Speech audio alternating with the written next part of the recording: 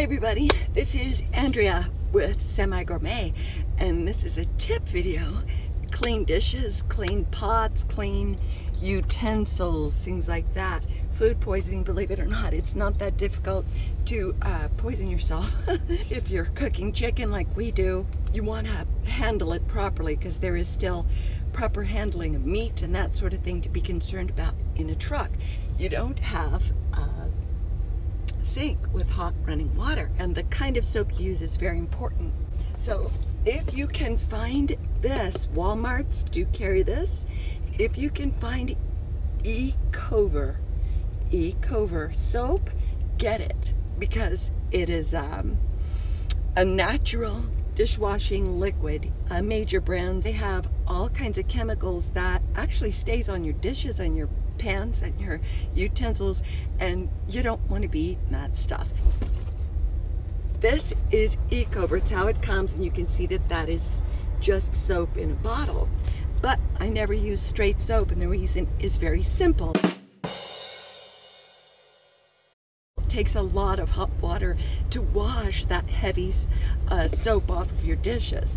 And we don't have lots of hot water in the truck. So the easiest way to solve that problem is to take borax, put it about this tall in a bottle like this. I just took a um, another Ecover bottle that was empty. I put borax in the bottom and filled it with water. You take your borax water and your soap and you put about this much soap and the rest borax. So it's about a third soap and two thirds of borax. And borax has powerful germ killing properties and it's very safe. Other uh, thing that's great about borax is that this, this um, the sponge never smells bad. Um, the sponge never smells bad. Um, the sponge never smells bad.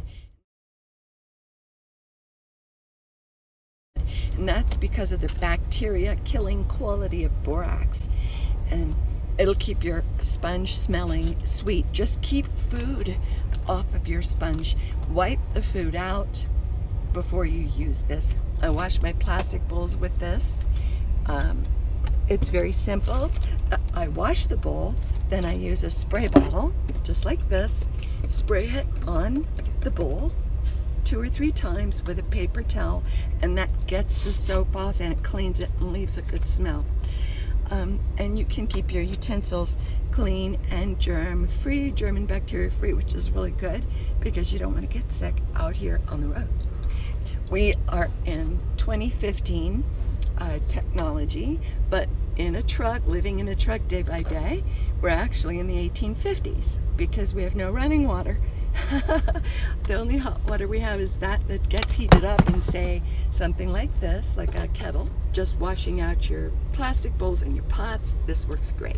So there's your tip for today. All you semi-gourmets. See you next time.